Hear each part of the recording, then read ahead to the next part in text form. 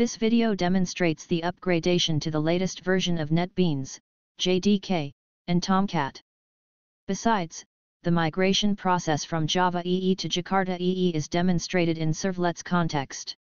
From servlets perspective, the namespace javax.servlet.star is changed to jakarta.servlet.star.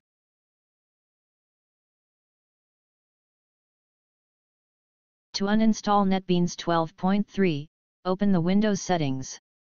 Apps. Select Apache NetBeans 12.3 and click on Uninstall.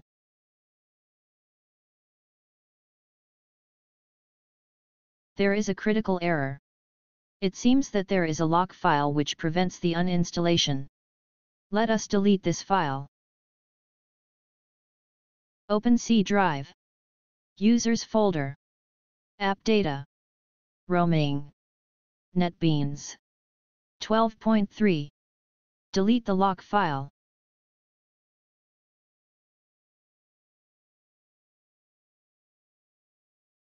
Click on Uninstall.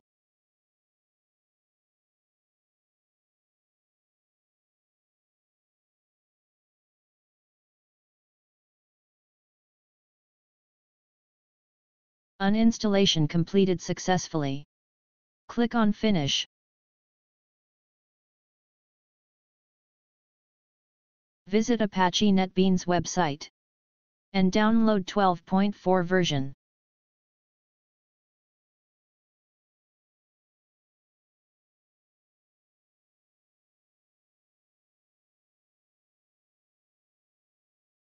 You may notice the Java 16 support in this page.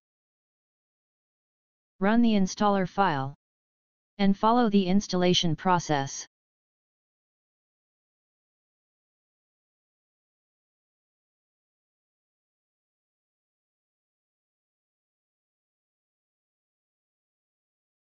Click on Next. Accept the agreement. JDK 16 is already installed.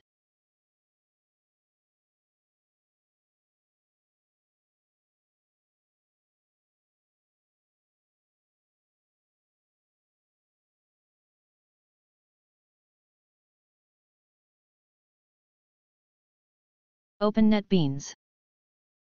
Settings created by a previous version were found on your system. Do you want to import them?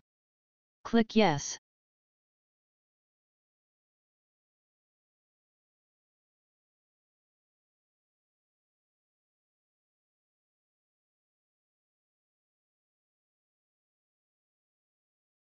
NetBeans Java Compiler API will be installed. Click on Next.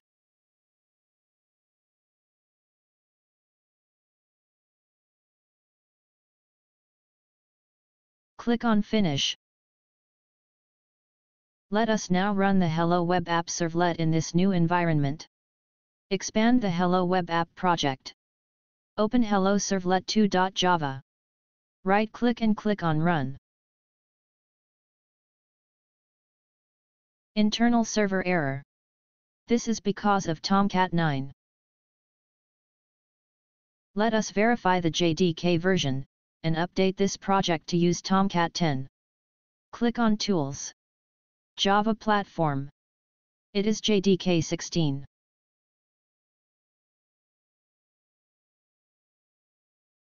Right-click on Hello Web App. Click on Properties. Click on Run. The current server is Tomcat 9. Change the server to Tomcat 10. Click on OK.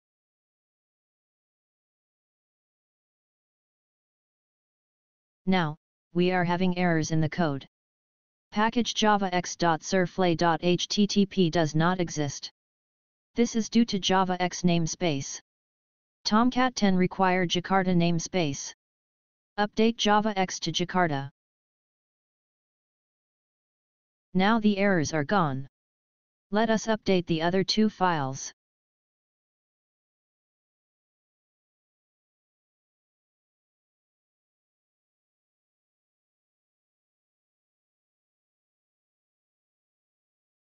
Let us run hello servlet 2.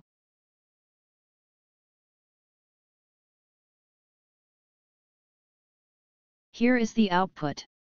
We have run the Jakarta's Hello Servlet using NetBeans 12.4, with JDK 16, and Tomcat 10. To summarize, we have learned how to upgrade to newest NetBeans versions, switching between servers while executing projects, and writing Jakarta EE compliant servlets.